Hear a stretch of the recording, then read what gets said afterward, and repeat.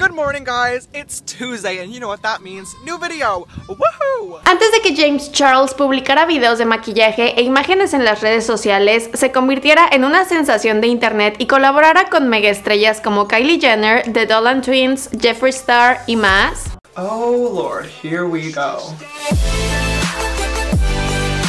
Antes de que James Charles captara la atención de CoverGirl, se convirtiera en el primer portavoz masculino de la compañía, conociera a Katy Perry e incluso apareciera en el programa de entrevistas de Ellen. James Charles, you're the first male CoverGirl. Antes de que se convirtiera en una celebridad de las redes sociales con más de 3.5 millones de seguidores en Twitter y 15.2 millones en Instagram, en donde llamó mucho la atención cuando publicó sus outfits de Coachella. Antes de que lanzara su línea de ropa y accesorios llamada Sister Apparel, y sacará su propia paleta de sombras al colaborar con Morphe Cosmetics, la cual por cierto alguna vez se vendió por completo en solo 10 minutos.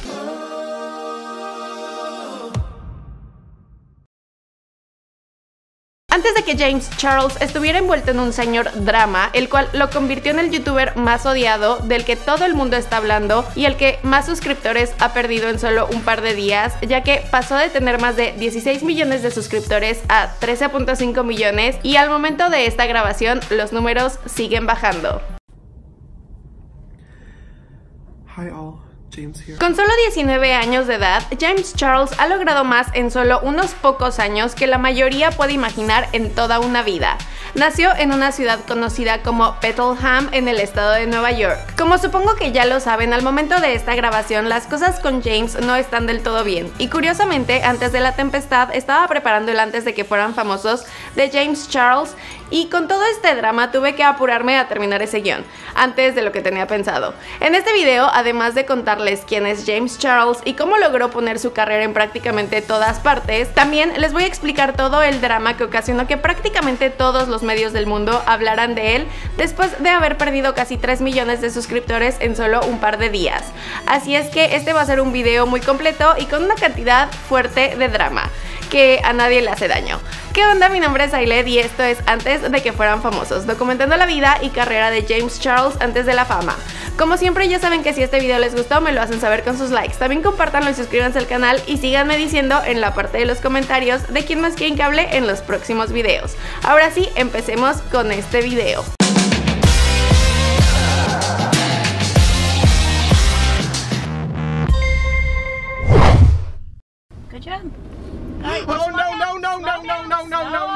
no, no, no. No, no, no, no, no. No, no, no, no. James Charles Dickinson nació el 23 de mayo de 1999. Sus padres son Christy y Skip. Tratamos de encontrar el verdadero nombre de su padre, pero eso sigue siendo un misterio. Podría ser simplemente Skip, pero no lo sé. Lo que sí sé es que su papá trabajó como contratista independiente y tiempo después aplicaría sus habilidades para construirle a su hijo un pequeño estudio donde pudiera filmar sus primeros videos. Mientras que las fuentes afirman que nació en Bethlehem, Nueva York, James dijo en entrevistas que creció en la capital del estado de Albany se mudó a Bethlehem cuando estaba en segundo grado. Sus padres no estaban contentos con el sistema escolar de Albany y querían que James y su hermano menor Ian se mudaran a un área más segura. Para aquellos que se preguntan dónde está Bethlehem, pues es una pequeña ciudad de unas 30.000 personas ubicada a las afueras de la capital del estado de Albany. James y su hermano menor Ian tuvieron una relación difícil al crecer y James se describió a sí mismo como un gran bully para Ian. Recordó una historia de cuando eran pequeños cuando la familia estaba comiendo en la mesa. Los dos hermanos comenzaron a pelear y James se levantó de su asiento pateando la silla de Ian. Ian cayó hacia atrás y golpeó el radiador rompiéndose el labio. Irónicamente, Ian a menudo terminaba defendiendo a James cuando los niños lo atacaban en la escuela. Welcome back to Brother and Sister. sister and brother Brother and Sister. sister and brother Brother and Sister. James ha declarado que era difícil para los dos unirse cuando eran niños, ya que eran muy diferentes. James pasaba tiempo adentro de la casa mientras que Ian se inclinaba más hacia el atletismo. Sin embargo, James dice que su fama los ha unido y ahora tienen una serie en YouTube en el canal de James llamada Brother and Sister donde hablan de varios temas. Hi, sisters. My name is James, I'm Ian. and welcome to the first ever episode of the James and Ian Show. A James le gustaba cantar mientras crecía y llegó a decir he estado cantando literalmente desde el momento en el que salí de mi madre, desafortunadamente para todos los oídos de ustedes. Pero a juzgar por este video yo diría que está siendo un poco duro consigo mismo. I'm happy for you. James siempre fue muy emprendedor, vendía muñecos de peluche y pulseras de la amistad a sus compañeritos en la escuela primaria. Durante su juventud, que sigue siendo joven, pero pues me refiero a su preadolescencia, James parecía sentirse atraído por dos cosas, el maquillaje y las redes sociales. Hizo su propia cuenta de Twitter a los 11 años de edad y esta cuenta tenía el nombre de That's What Kids Do, o Eso es lo que los niños hacen, donde publicaba pensamientos graciosos, memes y frases motivacionales. Y con una guía por parte de su papá, logró que esta cuenta tuviera aproximadamente 80 mil suscriptores, pero James sería engañado porque pues recuerden que solo tenía 11 años y compartió su contraseña y perdió a todos estos seguidores. Decidió cambiarse a Tumblr en donde varias personas comenzaron a seguirlo y cuando ahorró suficiente dinero compró una MacBook y James finalmente se movió a YouTube. Su canal original estaba más orientado a hacer reír a la gente y su primer video fue en realidad una charla entre él y su madre. Our first one today is swag. I think swag means rhythm. He's got a lot of. James se declaró abiertamente gay con sus padres cuando tenía solo 12 años, pero no fue una plática típica de sentarse y hablar de sus emociones y sentimientos. De hecho, sería su papá quien una noche, sin querer, vio a su hijo viendo un video en internet. Al día siguiente sus padres revisaron su historial y se dieron cuenta de lo que su hijo mayor estaba buscando. Pensando que sus padres se enojarían, se sintió conmovido al descubrir que sus padres lo apoyaban y simplemente estaban preocupados por los posibles depredadores con los que podía haber estado chateando. Debido al interés de su hijo en el maquillaje, su madre llegó a creer que James era transgénero. Si bien ella estaba bien con esto, expresó su preocupación ya que nunca antes se había enfrentado a algo así y no sabía cómo manejar las cosas ni este cambio. James les aseguró que no era trans y declaró, definitivamente fue un momento difícil en mi familia y todos estaban un poco confundidos, pero traté de explicarles lo mejor que pude que me sentía cómodo con mi identidad de género y solo quería hacer esto para expresarme. Y por supuesto, una vez que comencé a ganar seguidores y a recibir dinero y esas cosas, se convirtió en una realidad que quería hacerlo como algo serio en lugar de un pequeño pasatiempo después de la escuela. James asistió a Bethlehem Central High School donde afirmó que una de sus clases favoritas era la clase de economía del señor Smith. James trabajó incansablemente para completar las tareas y obtuvo un promedio de calificaciones alto. James admite que si bien tuvo un gran desempeño en el escenario, no era un gran fanático de la escuela. Desde que logró graduarse antes de la preparatoria y hasta el momento ha expresado poco interés en ir a la universidad. School for me was a spooked situation. I definitely knew that I wanted to graduate early and get out. Durante un tiempo trabajó en una tienda de helados y eventualmente encontró trabajo como peluquero. Y fue ahí cuando al estar peinando a una amiga para un baile militar local, ella le diría que ya iba tarde a su cita de maquillaje. Para ayudarla, él la maquillaría. Inicialmente James temía que el resultado final no fuera el esperado y hasta bromeó con ella diciéndole que si fallaba no tomaría el crédito. Afortunadamente para él, ella terminó luciendo guapísima. Esto inspiró a James a seguir con el maquillaje. Compró un kit de principiante y maquillaría a sus amigas. A medida que mejoraba, comenzó a cobrar entre 5 a 10 dólares por sus servicios. Esto eventualmente lo llevaría a grabar sus sesiones y a publicarlas en YouTube e Instagram. Y así fue como el mundo empezó a fijarse en él.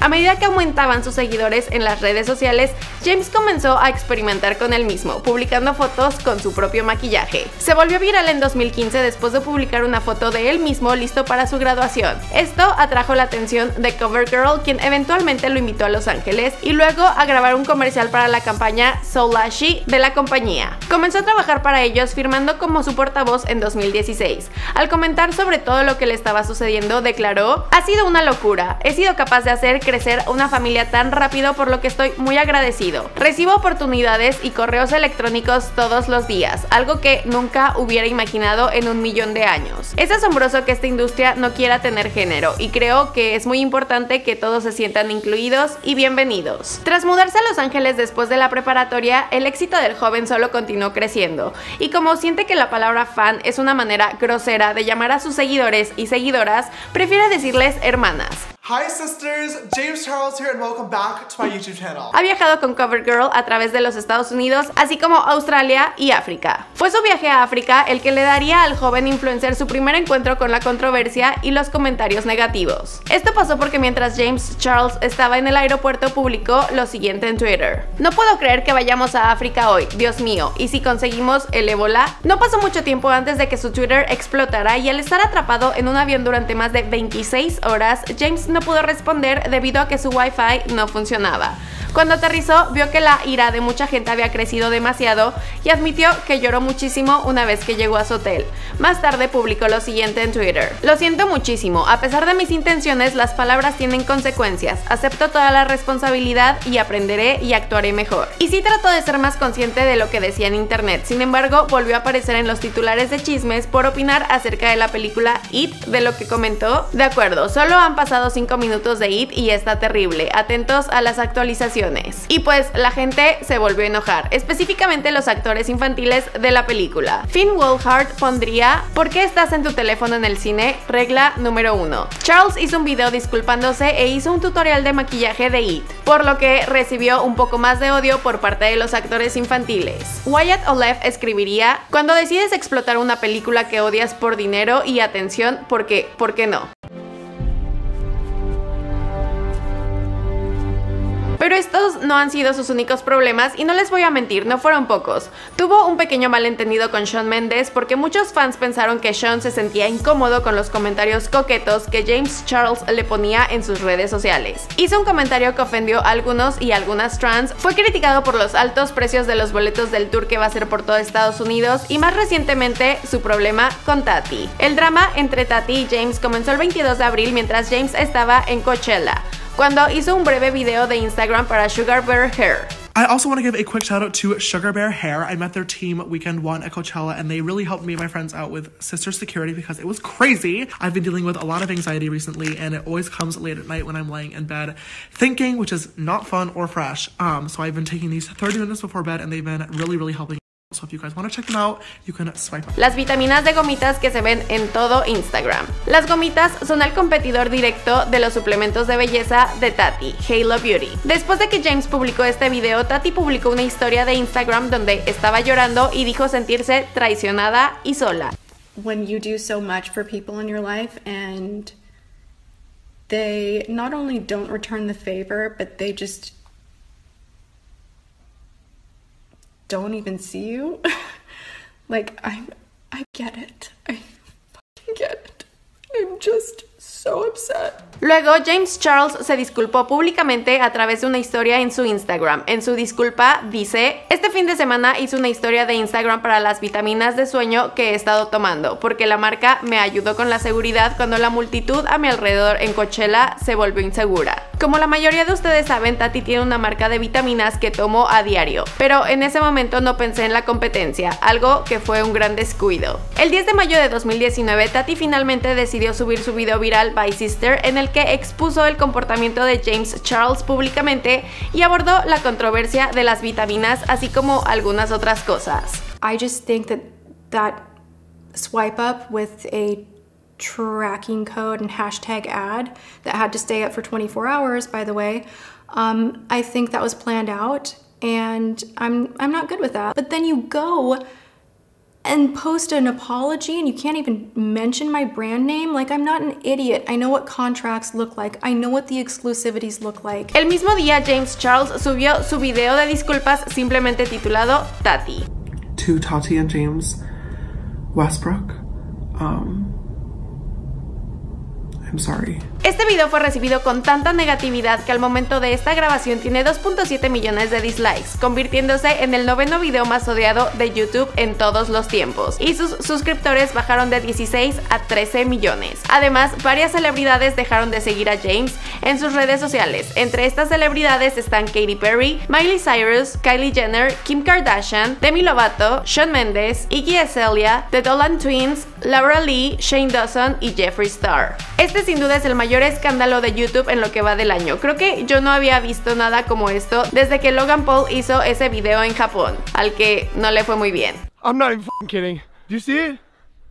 Y es que más allá de ser un drama entre youtubers, la gran controversia es el hecho de que James utilizó o ha utilizado su fama para hasta cierto punto manipular la sexualidad de las personas. Oh my god, you tried to trick a straight man into thinking he's gay yet again, and somehow you're the victim. You know, it's really disgusting. And when I said, James, he's straight, your response was, doesn't matter, I'm a celebrity. So freaking gross. And you said that in front of my family. Y varios chavitos han empezado a sacar a la luz las capturas de pantalla de conversaciones que sostuvieron con el influencer, además de subir algunos videos confesionales a YouTube. his response to me was that he thought he didn't think that I was straight. He told me you're not straight. Antes de terminar, yo solo quiero decir que sí, las acusaciones son bastante serias, pero también creo que hay que medirnos con la cantidad de comentarios negativos que le tiramos a una persona, sobre todo si esta persona ha dicho abiertamente que padece de ansiedad. Este tipo de situaciones pueden desencadenar sentimientos y pensamientos espantosos cuando padeces ansiedad. Así es que no tiremos tanto odio porque en realidad solo él sabe por todo lo que está pasando. Y bueno, eso es todo lo que tengo para ustedes en este video. Espero que les haya gustado. Si es así, eh, pues ya saben que me lo hacen saber con sus likes. También compártanlo y suscríbanse al canal y síganme diciendo en la parte de los comentarios de quién más quieren que hable en los próximos videos. Espero que este video también haya aclarado todas las dudas que tenían en torno a este influencer y pues ya, eso es todo. Les mando besos y saludos a todos y nos vemos pronto. Bye.